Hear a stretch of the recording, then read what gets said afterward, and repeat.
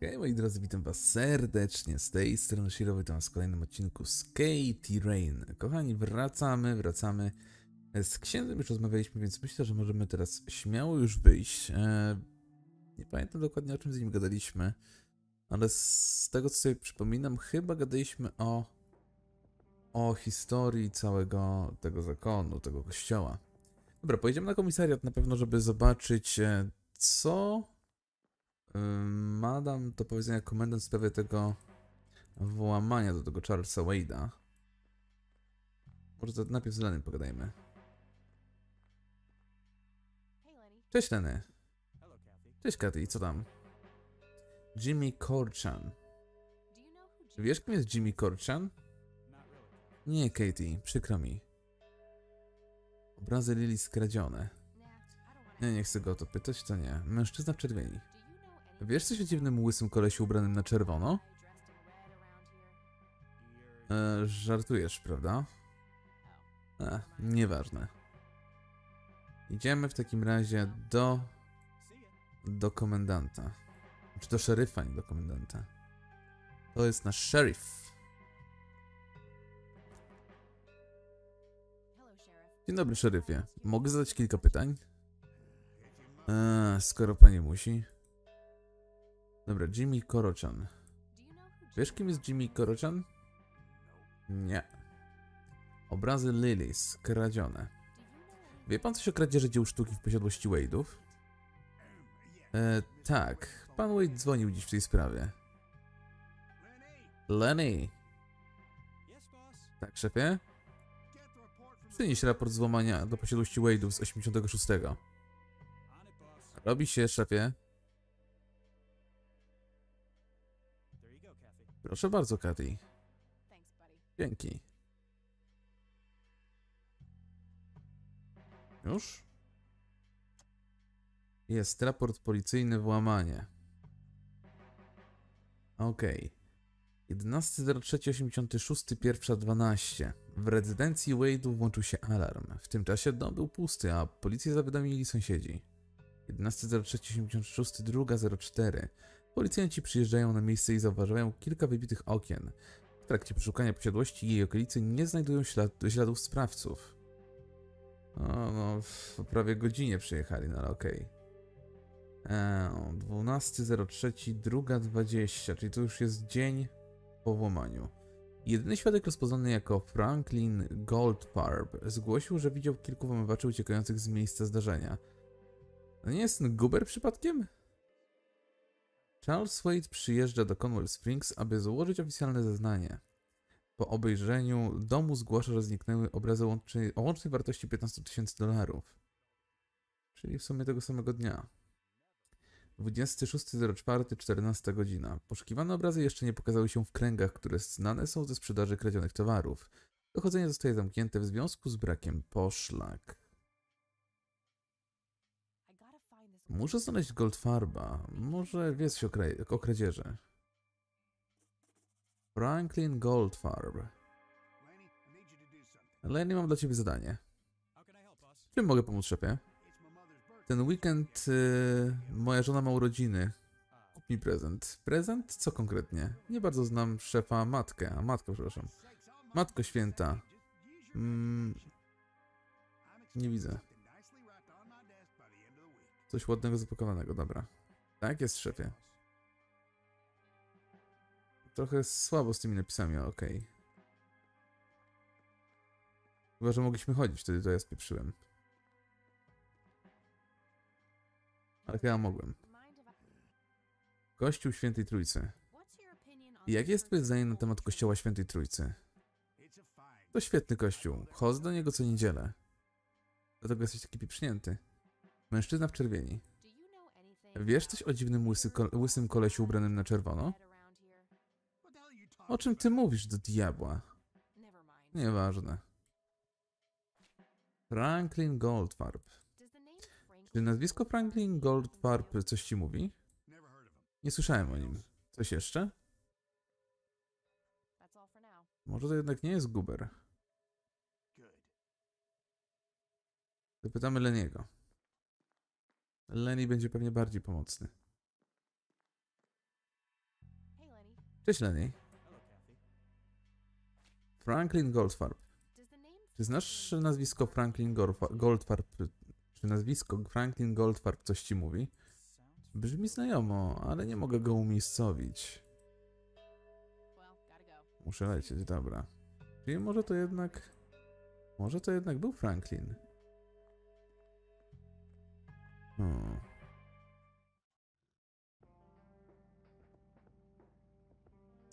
W sumie babuszka może znać tego Franklina. Tak sobie teraz myślę przynajmniej. Jeżeli nie, to jeszcze pojedziemy do kościoła. Może też e, kapelan coś będzie wiedział. O, witaj skarbie. Dobra, babcia. Mniej gadania, więcej grania.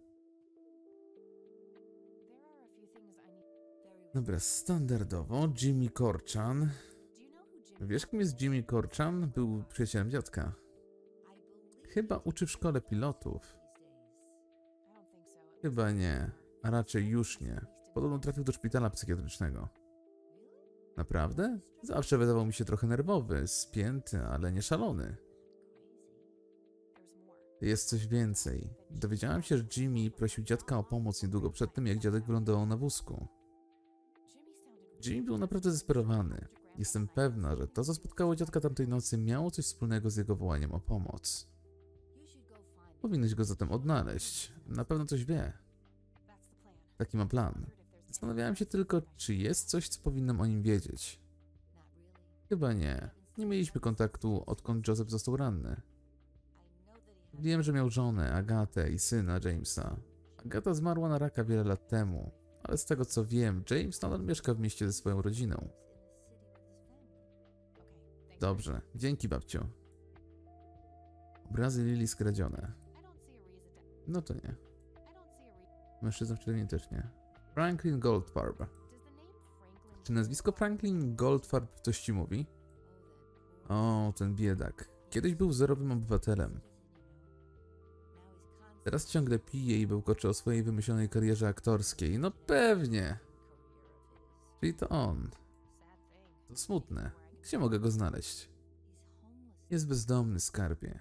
Kilka lat temu stracił pracę i już nigdy nie stanął na nogi. Teraz już wiem o kim mowa. Dzięki, babciu.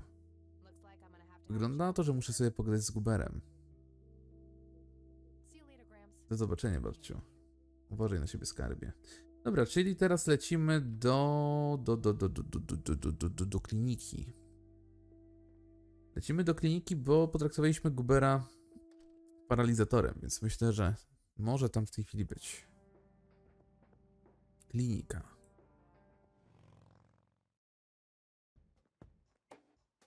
Dobra, Cornwall Springs Klinika Społeczna.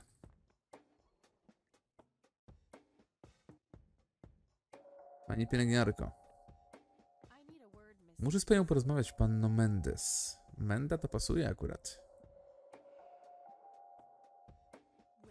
Zaraz, e, skąd zna pani moje nazwisko? Jest napisane na tablicy za panią. Ma pani sokoli wzrok, czy co? Hmm, cóż mogę rzec, jestem wybrykiem natury. A co tak w ogóle stało się Guberowi? Komu? Temu gościowi, który miał napad. Pobiegł gdzieś, ciągle poplał o jakimś religijnym doświadczeniu bliskim śmierci. Dobra, dzięki. Czyli Guber został nawiedzony. I to dosłownie nawiedzony. Panie Guber, idziemy się spotkać w kaplicy, czy w kościele. Kościół był tu. No, jest Guberek. Cześć, Guber. Znowu ty. Śledzisz mnie, czy co? Wszędzie się na ciebie nadziewam. Postaram się opanować działanie mojego wdzięku, ale niczego nie obiecuję. Rzeczywiście, wdzięku ci nie brak. Człowieku, wiem, przecież właśnie to powiedziałem. Słuchaj, e, głupio mi z powodu tego paralizatora. Więc to był paralizator. Wisienka na torcie mojego doskonałego występu. Tak, był bardzo przekonujący. Co cię sprowadza do domu Boga? Przyszłaś się wyspowiadać? Obawiam się, że jestem już nie do odratowania. A. Mam za to kilka pytań. Wal, panienko. E, Jimmy? To. E, właśnie nie. Naprawdę nazywasz się Franklin Goldfarb? Nikt mnie już tak nie nazywa. Mniejsza z tym. Wiem na pewno, że byłeś świadkiem włamania do rezydencji Wade'ów kilka lat temu. Tak, i co z tego? Opowiedz mi dokładnie, co widziałeś. Kurde, chciałem wziąć opcję drogową, która nie, nie prowadzi do tego. Usłyszałem alarm, tłuczone szkło. Po chwili trzech facetów uciekało, niosąc ze sobą różne rzeczy. Jak wyglądali? Było ciemno, nie wiem. Na pewno było to trzech wielkich, zwalistych chłopów. Oni... Oni co?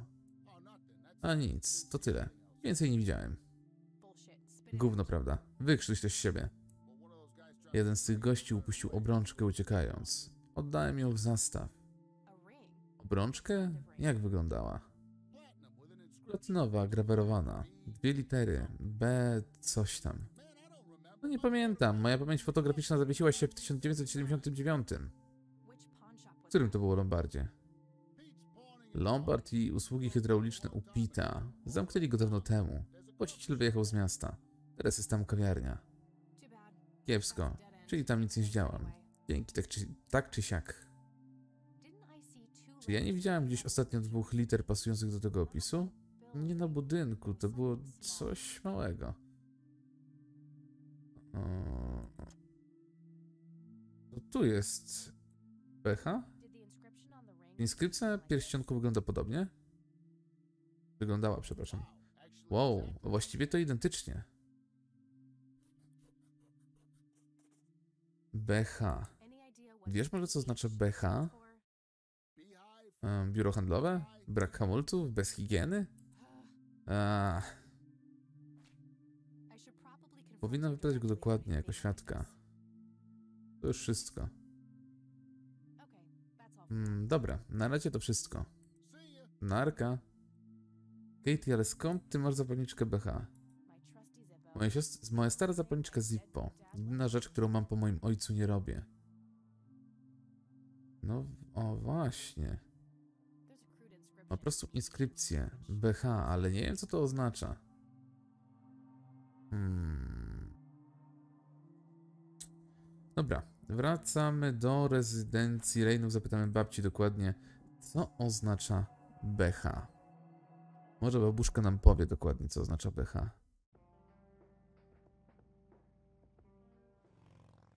W sumie to jedyny tak naprawdę teraz świadek. Czy świadek, jedyna osoba, która może nam pomóc, bo ojca raczej Katie, no, no w mieście może i znają, ale, ale raczej nie wiedzą dokładnie, to co babcia. Mam nadzieję, że zawału nie dostała.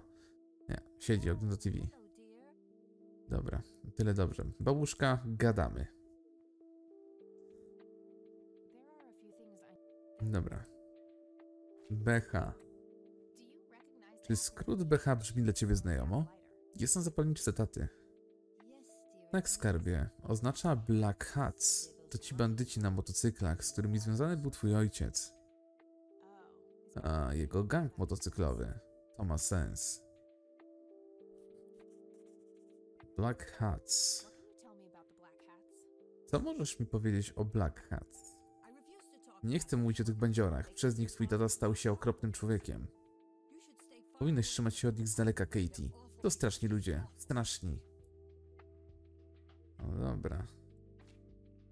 Mm. Bye. Zapytamy się może policji, czy coś wiedzą.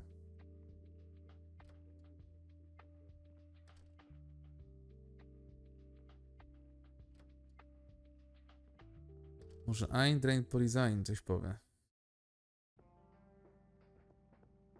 Komisariat, komisariat, komisariat.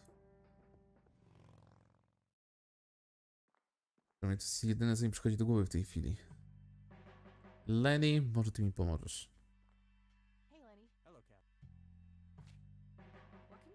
Co możesz mi powiedzieć o Black Hats? Od czasu do czasu sprawiali nam trochę problemów, ale ostatnio jest o nich cicho. Wsadzaliśmy kilka szych, ale nigdy nie znaleźliśmy nic na ich przywódcę. Biał Brownsona, wielkiego find them? Wiesz, gdzie mogę ich znaleźć? Tak, chwila, tylko znajdę mapę. Mam, dzięki. Czyli mamy adres. Zapytamy jeszcze się komendanta, szeryfa. To jest szeryf, nie komendant. Komendant jest w Polsce. To jest Murika, hell yeah! Co możesz mi powiedzieć o Black Hats? A co chce pani, no co, chce pani dołączyć? Na widok tego motoru pewnie gacie by im pospadały, ale to męski klub. Powiedzmy, że jestem ciekawska. Ja bym powiedział, że ciekawskość zahacza o psychozę. Życie pani niemiłe? Motocykliści się nie certolą z dziewczynkami. Pomoże mi pan czy nie, szeryfie? Raczej nie. Proszę męczyć Lenego. That's all for now. Mm, czyli wracamy. Nie mamy wyboru zbytnio. No, ale przynajmniej mamy adres. A powiem, że w sumie już dawno Katie Rain nie nagrywałem. Teraz nagrywam to w sumie 18 sierpnia, bo dwa odcinki ominąłem z Katie. Ale tak naprawdę mi się nie chciało tego czytać wszystkiego. Jakoś mam opory co do tej gry. Jest fajna, ale mam opory. Bo dlatego, że muszę gadać non stop, a ja nie lubię zbytnio gadać. Black Hats. O. Niezła dupa nadchodzi. Chciałbyś. Nie jestem niczyją, niczyją własnością. No na pewno. Czy ta mała suczka nie wygląda niezłą dupę? Myślę, że wygląda. Odwal się, zboczeńcu. Bo co? Poskarżysz się co psiowi? Będziesz zdrapywał twoje jaja z podłogi, pieprzona świnio. Myślisz, że potrzebuje tatusia, żeby skopać ci dupsko? Lepiej ucz się szybko, dupku. Odwal się. Eee. Pathetic Myślisz, że potrzebuję tatusia, żeby skopać ci dupsko? Uwielbiam, jak udają trudne do zdobycia.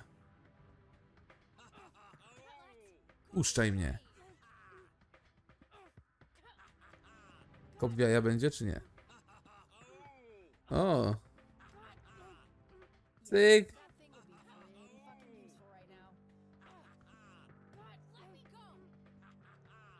Ma charakter. No nie wiem. No. Łopatą mu przypierdziel. Pyk! Jakiś problem, Leszczu? Co tu się do cholery wyprawia?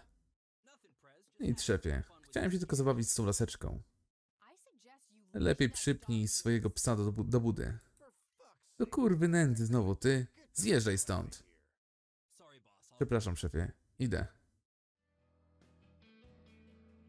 Oj.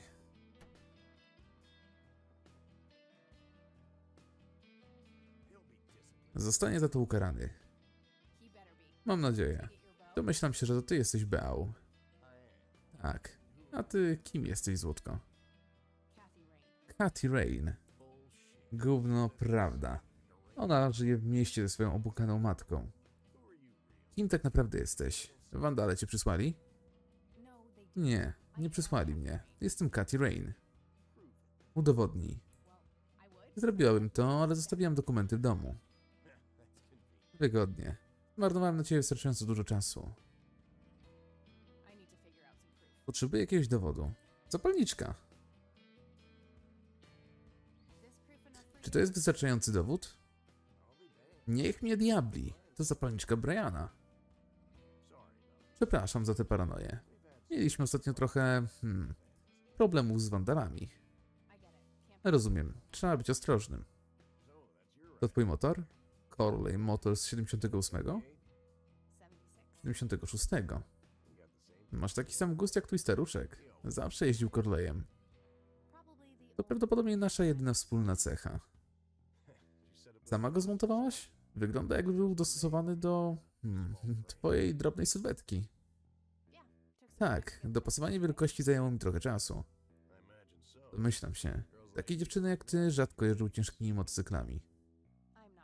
A nie jestem jak większość dziewczyn. Święta prawda. Większość dziewczyn nie wpada tak po prostu do takich miejsc jak to. Pewnie wiesz najlepiej. Tak czy inaczej chciałem zadać ci kilka pytań na temat klubu.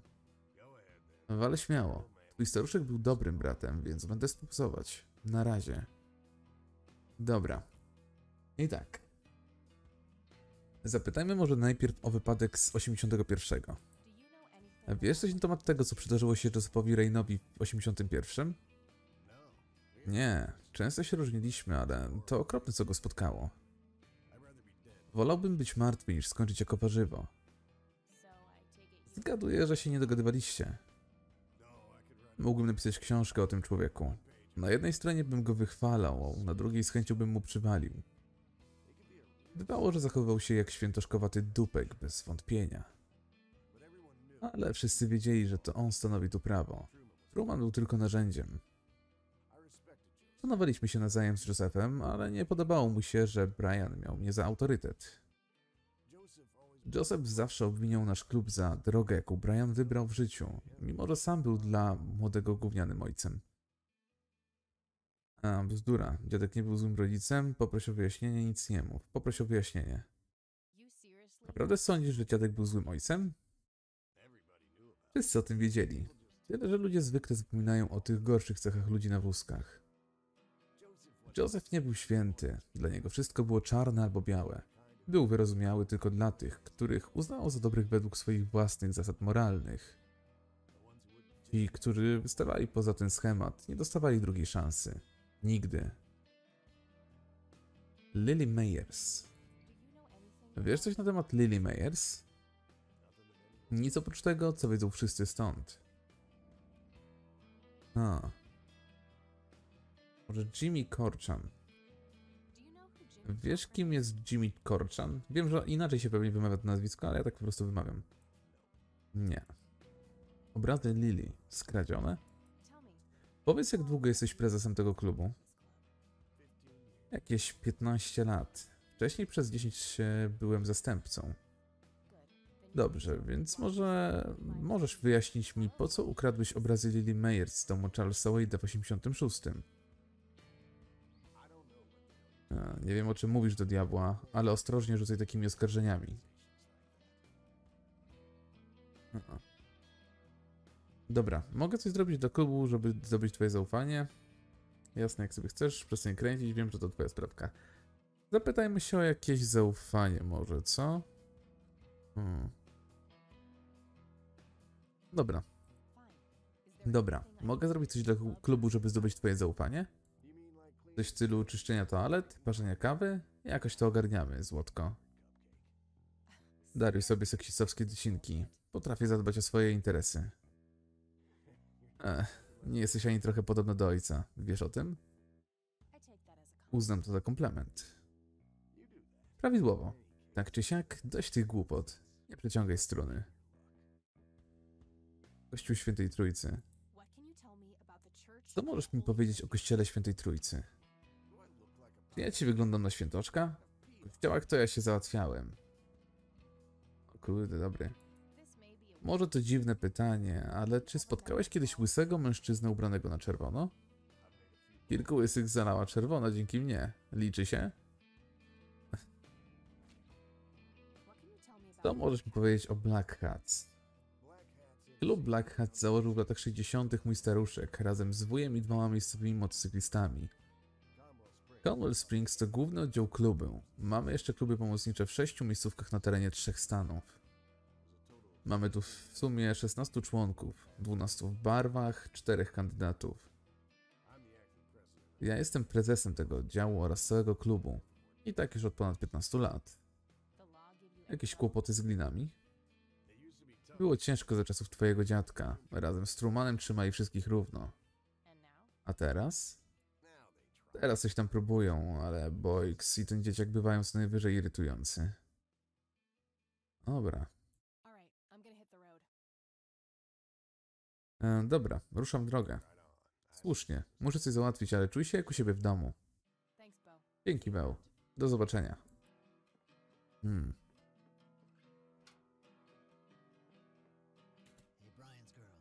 Hej, córko Briana. Tak?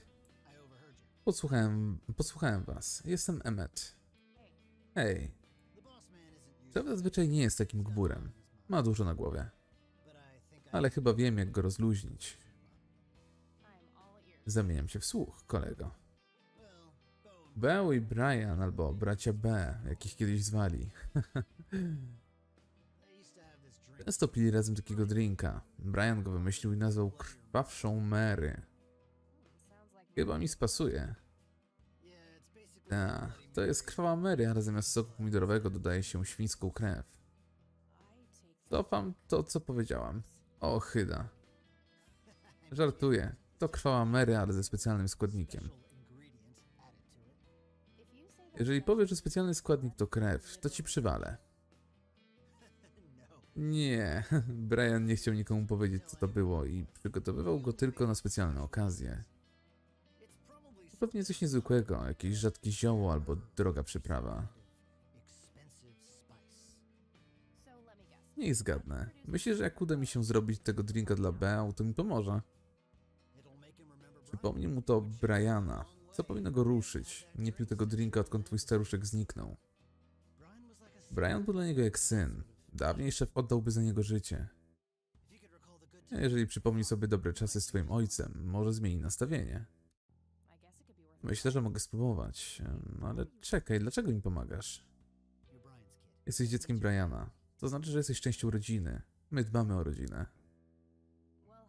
W jaki sposób ten drink różnił się od zwyczajnej krowej bit Bardziej smakował pieprzem i miał kopa, który zazwyczaj powodował paskudnego kaca.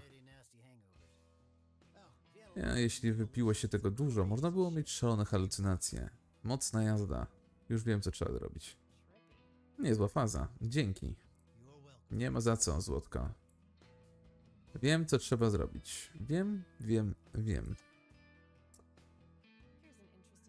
Tu jest jakiś ciekawy fragment. Kolejną ciekawą cechą czerwonego sierpowca jest jego woń przypominająca zapach, przypominający zapach pieprzu. No właśnie. Pyk kwiatowy w skondensowanej ilości może powodować halucynacje. W związku z powyższym Indi- amerykańscy Indianie uprawiali i palili te rośliny, jednak z uwagi na trudności w uprawie kwiat ten nigdy nie zyskał popularności jako używka. Wiem, gdzie to jest. Wiem, wiem, wiem. Może zdążymy nawet jeszcze przed końcem odcinka. Dawaj, Katie.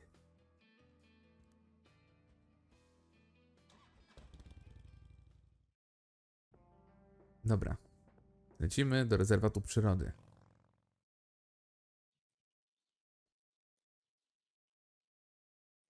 Trzeba ciebie. Wybacz, wybacz zagrożony kwiatku, ale naprawdę muszę zrobić drinka. No i dobra. Mamy co chcieliśmy. Ten zapach pieprzu mi się strasznie z tym kojarzył. O, już tu mamy zablokowane. Uuu, czyli już tu nie dojdziemy.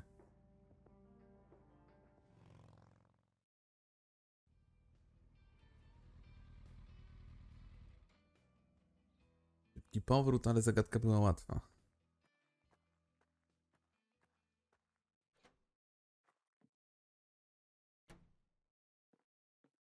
Dobra. Idziemy do barmana. Hej, barman, wiesz może jak zrobić krwawą, krwawszą Mary? Masz na myśli krwawą Mary? No, Nie, to coś innego. Obawiam się, że nie. Jeśli chcesz, mogę zrobić zwykłą krwawą Mary. Może później. Muszę coś załatwić. Dobrze. Daj mu ten kwiatek. To ten sierpowiec. Pachnie jak pieprz. Tego właśnie potrzebuję do krwawszej Mary. Poproszę krwawą Mary. Już podaję. I dodaj tego, jakbyś mógł. Zawsze dodaję to dla smaku. Wrzuć do blendera. Jak chcesz.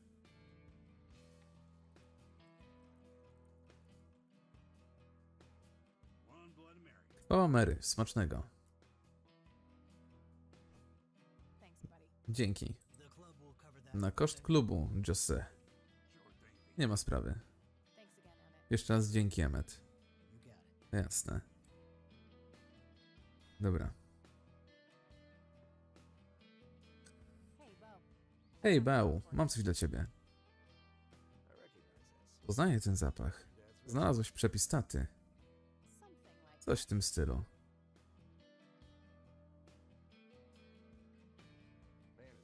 To dopiero przywołuje wspomnienia. Mam wrażenie, że zaraz wejdzie tutaj, tutaj Brian. Wiesz, to wszystko przypomina mi, ile tak naprawdę zawdzięczam twojemu staruszkowi. Tak? No więc to było tak. W 86 Karl, mój ówczesny zastępca, przyszedł i powiedział, że ma robotę dla klubu. Taki koleś zaproponował mu spory hajs za kradzież kilku obrazów z jakiejś posiadłości. Potrzebował do tej roboty dwóch braci. Byłem wtedy zajęty innymi rzeczami, ale dałem zielone światło pod warunkiem, że klub dostanie swoją dolę. Wrócił tydzień później z ładnym plikiem gotówki. Dopiero gdy przeczytałem gazetę, dowiedziałem się, że to Wade, że to Wade'a okradli. Gdybym wiedział, nie zgodziłbym się. Wade jest potężnym człowiekiem ze znajomościami w Radzie Miejskiej, więc lepiej go nie wkurzać. Jasne. Co wiesz o gościu, który was najął do tej roboty? Niewiele. Karl powiedział, że to był jakiś brodaty klecha. Ojciec z kościoła. Isaac? Z kościoła Świętej Trójcy? Może. Nie znam człowieka. Wiem tylko, że to był ksiądz. Dzięki, right Zajmę się tym od razu. Ha. Wszystko? Nie zapytasz mnie, co stało się z twoim staruszkiem? Nie jesteś ciekawa? Nic, nie nic mnie nie obchodzi ten dupek. Gówno, prawda? Wydaje ci się, że ktoś ci uwierzy, że jesteś zło na kogoś, kto nic, się, nic cię nie obchodzi? Albo umarł, albo mnie porzucił. Czy któraś z tych opcji wydaje ci się przyjemna? Nie bardzo, ale powinieneś wiedzieć, że nikt z klubu nie miał z tym nic wspólnego. Brian był naprawdę dobrym bratem. Nie miał tu żadnych wrogów ani wtedy, ani teraz. Koi to moją duszę, panie przewodniczący. Zamknij się i słuchaj, dziewczyno. Próbuję ci coś powiedzieć. Brian często mówił o Meksyku, o tym, że pojedzie w siną dal i ucieknie od tych wszystkich nowych obowiązków. I sądzę, że częściowo mówił poważnie. Jest szansa, że nadal żyje. Powinnaś to wiedzieć. Pewnie. Miejmy nadzieję, że ten drań gdzieś tam sobie korzysta z życia. Ech, uważaj na siebie, słyszysz? Ty też. Ten dzień szybko minął. Chyba zapytam babci, czy mogę spędzić u niej noc. Oblokowano osiągnięcie wyjęte spod prawa. Hu, hu, hu. Dobra, moi drodzy, ale to by było na tyle. Pamiętajcie o subskrypcjach, komentarzach i ocenie filmu. Grał dla Was Shiro, a my widzimy się w następnych odcinkach z Katie Rain, o ile będę miał oczywiście ochotę na nagrywanie dalej Katie Rain, ale nie, no spokojnie, będę miał. Dobra, trzymajcie się jeszcze raz. Hej, hej!